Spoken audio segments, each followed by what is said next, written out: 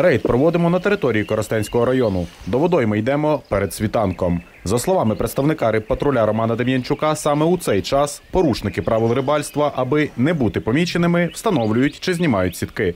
За кілька хвилин на протилежному березі у тепловізор інспектори помічають людину.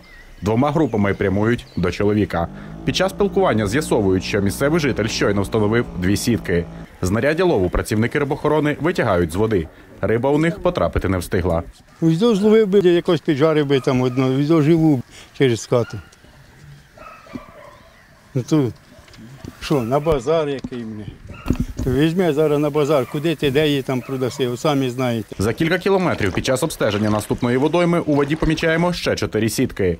Ці знаряддя лову поставили імовірно вночі чи минулого вечора, каже Роман Дем'янчук, заступник начальника відділу Житомирського рибпатруля. Адже у них майже півсотні карасів. Всю рибу витягають з сіток та випускають назад у водойму. Ці рибини виживуть, каже представник патруля. Вилучені сітки рибоохоронці опломбовують та здають на зберігання.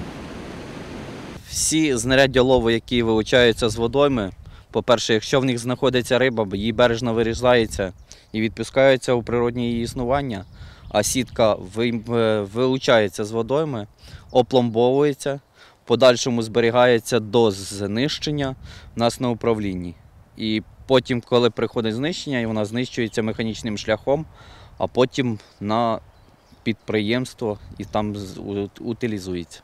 Під час рейду інспектори проводять профілактичну роботу із рибалками, роз'яснюючи правила рибальства під час нерестової заборони. За словами Романа Дем'янчука, заборона на вилов риби діє з 1 квітня по 20 травня 2024 року на річках області. На водосховищах заборона триватиме до 9 червня. У цей період рибу можна ловити лише з берега та не більш як на два гачки. За порушення правил рибальства передбачений штраф до 680 гривень.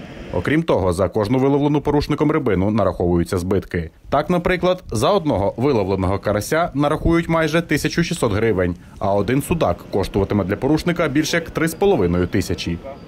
Під час нерестового періоду риба знаходить, е, рибу потрібно знаходитись в стані спокою. Тому е, і заборонено пересування будь-яких човнів, а також е, лов риби на різні донні вудки з великою кількістю гачків. І дозволено тільки вилов з берега, щоб риба могла спокійно віднереститись і дати потомство. Дмитро Поліщук, Суспільне, Новини Житомирщина.